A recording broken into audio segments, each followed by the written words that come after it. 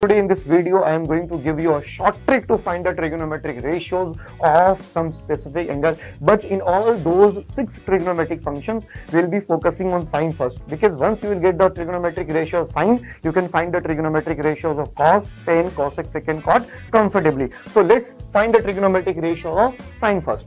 So what you need to do is, for to calculate, to find the trigonometric ratios of sine, write down the counting from 0 to 4 here. 0, 1, 2, 3 and 4. Divide all these number by 4. Divide all these number by 4 and take the root of these number. Take the root of these number. Once you will take the root of all these number, root 0 by 4, root 1 by 4, root 2 by 4, under root 3 by 4 and under root 4 by 4.